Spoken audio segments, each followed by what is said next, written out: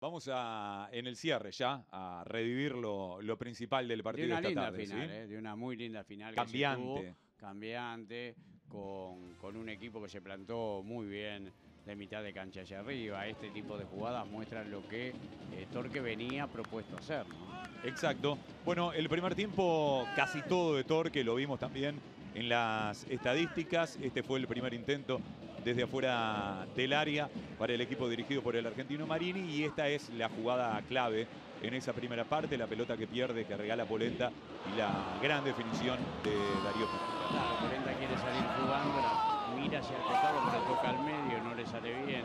Alfonso Darío Pereira recoge la pelota y para mí es muy bueno lo que hace. ¿Por qué? Porque la pelota la quita. Hasta ahí está bien, pero cuando vos también te sorprendés porque no, no esperás el error del rival, podés demorarte, podés tocarla, podés encarar, podés pegarle y pegarle mal, podés querer pegarle de primera. Sin embargo, todo lo que hace en la jugada es muy bueno y empezaba ganando Torque el partido. Iban 21 minutos del primer tiempo cuando ese 1 a 0 de Torque, tímidos intentos de Nacional en esa primera parte. Porque las cosas no le salían, porque Nacional no podía ser intenso como en partidos anteriores, ni podía presionar, y al revés, corría detrás de una pelota que habitualmente era del equipo que vistió de rojo. ¿no? Otro intento del equipo tricolor, acá sobre todo por la falla del arquero Fiermarín, ¿no? Y en una pelota que parece toda de él, y debió ser toda de él, pero además comete un error este, eh, que no es de, de- de un, de un arquero, ¿no? En, en el ABC del arquero es, tengo que ir con el cuerpo por detrás de las manos. Sin embargo, pone las manos y se queda sin Acá llega Castellanos, el delantero argentino de Torque, que es el que genera el segundo gol. Otra vez la definición de Darío Pereira.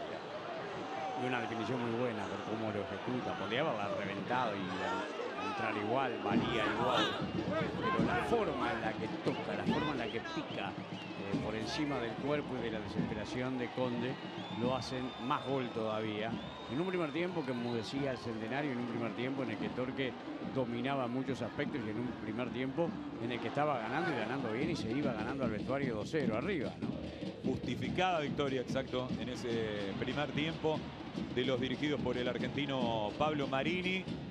Con buena participación de Darío Pereira, también con algunas apariciones, en este caso de este delantero Castellanos. que la hace muy bien en esa diagonal. Fíjate que es un sombrero por encima de Polenta, después un toque entre las piernas de Rorín, pero llega muy bien a cubrir con el segundo tiempo empieza parecido.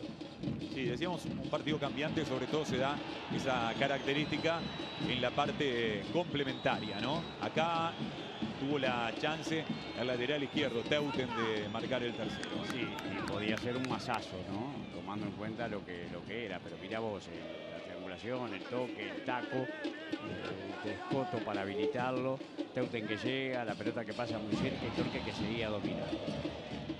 Ahora sí llegaría después la reacción de Nacional con algunas incidencias importantes, sobre todo esta segunda tarjeta amarilla para el zaguero, uno de los centrales de Torque, eh, Mayo, que se gana la segunda amarilla y la expulsión. Claro, porque le llega primero a la pelota a Sebastián Fernández. Y si bien se lleva el golpe o, el dolor de, de la jugada en el tobillo el jugador de, de Torque, es verdad que la falta es de él. Y la falta es al borde del área la falta permite que llegue un Nacional a quedar con un hombre de más en cancha. Llegaría el momento de Luis Aguiar en el encuentro, es el 1-2 del equipo tricolor. Un muy buen remate de Aguiar. eh, La gente de Torque quedaba reclamando falta de violencia en el primer salto. Después Sebastián Fernández la levanta. Viene con sirena encendida, como decíamos nosotros en el comentario del gol. Aguiar eh, le gana la posición a los volantes de, de Torque y pone el 2 a 1. Y ahí Nacional empieza a parecerse al de partidos anteriores y otra vez Aguiar le da el empate. Sí, hay que remarcar que Torque entonces estaba jugando con 10 hombres hasta este momento.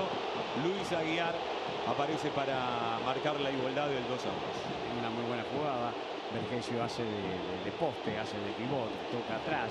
Sebastián Fernández deja correr la pelota porque además en el pase ve que él no puede definir y entonces habilita a su compañero. Y Aguiar remata y pone el 2 a 2. Y acaba la jugada de la expulsión de Polenta. Polenta remata, la pelota sale lejos, Polenta sigue con la pierna Otojic entiende que es falta y es tarjeta amarilla y allí termina poniendo el partido 10 contra 10. Y ahí se libera el partido otra vez. Y ahí hasta hay alguna chance de Torque que se libera con la pelota. Otra de Darío Pereira, en este caso perdiendo en el mano a mano con el arquero Sí, es muy buena la habilitación, reitero, se, se volvió a poner como protagonista a Torque que no las pasaba bien. Llega Pereira, ataja muy bien Conde que tuvo una final con trabajo y después Nacional que tiene la suya y que no perdona. Parecía venirse el alarme ya jugando tiempo adicional, el argentino Gonzalo Vergesio conecta para marcar el gol del triunfo. Sí, una pelota puesta por Sebastián Fernández. Eh, carga Vergesio, gana la espalda del marcador, pero además eh, anticipa a Pais, mete el golpe de cabeza y termina eh, Nacional ganando sobre el final del partido después de un durísimo primer tiempo, después de una primera mitad donde Torque fue bastante más que Nacional y ganaba 2 a 0. Pero Nacional tiene el mérito grande, como equipo grande que es, de salir a buscar y de conseguirlo. Y ahí está, la copa en manos de quien para mí fue, hasta por la reacción de la final, el mejor equipo del intermedio y que esto lo suma a haber ganado el torneo de apertura, lo que lleva entonces a que Nacional se quede con el intermedio, sume un nuevo título y piense de manera distinta, más tranquilo y más holgado en lo que se le viene en los próximos meses. Está Luis Aguiar en conferencia de prensa en este momento. Eh, muy contento por cómo, cómo termina todo, más que nada por el grupo y, más que nada eh, por un compañero que, bueno, perdió, perdió su papá y era muy importante regalarle eh, algo de, de, todo lo que nos da día a día. Así que por suerte logramos esa copa que era es importante también. ¿Es una especie de revancha para vos? ¿Lo tomás así? No, no, no tengo revancha con nadie. Si yo tomé una decisión, eh, siempre lo dije y lo hice porque quise. Revancha no tengo con nadie, no tengo rencón con nadie y, bueno, disfruto de, del equipo que, que me da trabajo y la verdad que estoy muy bien, muy contento. Siempre lo estuve y bueno, y ahora mucho más. En el segundo gol se te vio eh, golpearte el pecho, mirar hacia la tribuna. ¿Qué se te pasaba por la cabeza en ese momento? ¿Hacia qué fue dirigido ese festejo? mucha gente gila que, que hay en, el fútbol. Eh, eh, yo tengo la camiseta nacional y soy jugador de nacional y a que le guste bien, a que no, mala suerte. Entonces, como yo respeto de, de, adentro hacia afuera, creo, creo que también me merezco respeto y, nada, este, creo que la gente hoy lo festejó, me aplaudió y, reconoce que uno se entrega por completo, que, que lo demás es para, para la manga de gile que hay en la calle.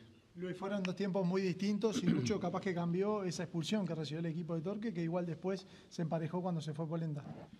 Sí, creo que Torque hizo un gran campeonato y, un muy buen primer tiempo. Creo que los dos goles de, Torque fueron unos golazos, la verdad que para aplaudir y nosotros entramos, no sé si entramos mal o entramos bien, pero Torque jugó muy bien. Hay que felicitarlos, hicieron un gran, un, gran primer tiempo y bueno, nosotros sabíamos que teníamos que revertir la situación con, con más ganas, con más sacrificio y creo que físicamente creo que por ahí pasó el, partido. ¿Esto era parte de, lo que esperabas cuando venías a Nacional? ¿El hecho de jugar una final, que se pueda dar vuelta y con dos goles tuyos?